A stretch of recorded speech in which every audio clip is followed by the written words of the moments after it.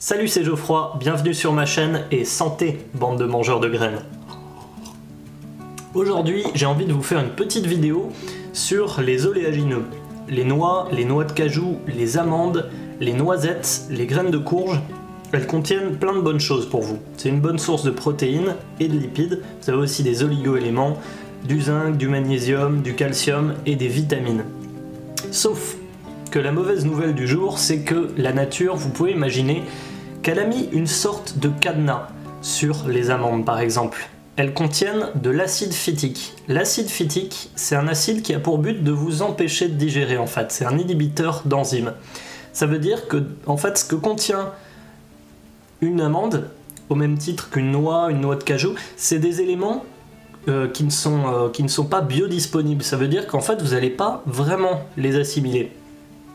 Si vous mettez dans la peau d'une graine, une graine, elle a pour but de se reproduire quand les pluies arrivent. Quand une grosse pluie arrive, une graine se met à, germer et se prépare à se reproduire. Mais en attendant, quand elle est en dormance, elle essaye de se protéger des agressions extérieures, qui vont être les virus, les bactéries, les champignons, les insectes et, comme nous, les mammifères.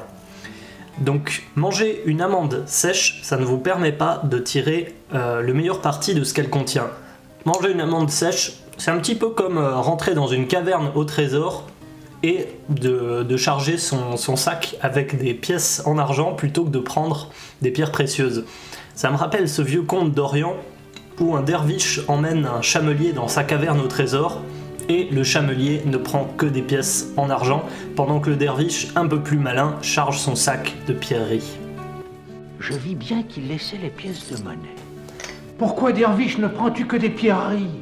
Et ne vois-tu pas, mon frère, que ce sont là des pierres très rares? Si j'ai réussi à vous donner envie de faire comme le derviche, la solution, elle est très simple. Je pense que vous m'avez vu venir. Il va suffire d'activer la germination de la graine.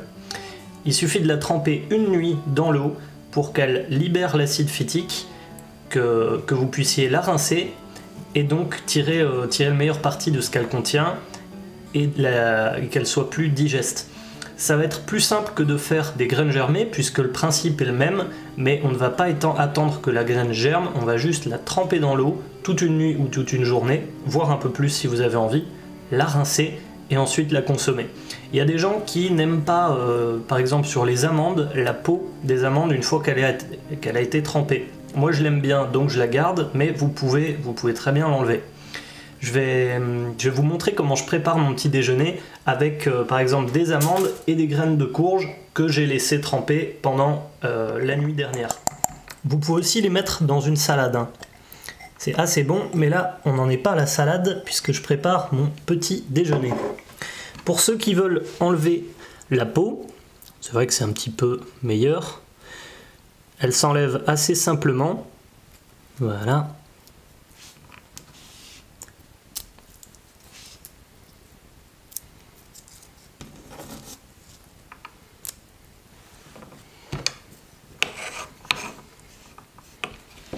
on découpe.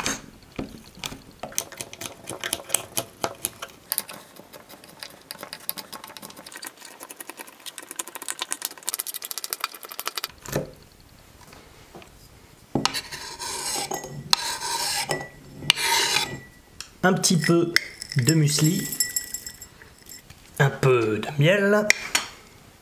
Vous n'êtes pas obligé de rajouter du miel si vous ne voulez pas vous gaver de sucre. Et l'ingrédient final du lait de riz chaud. Voilà, j'espère que cette recette vous a plu. Les amis, je vous dis au revoir et je vous dis faites ce petit déjeuner car c'est riche et délicieux.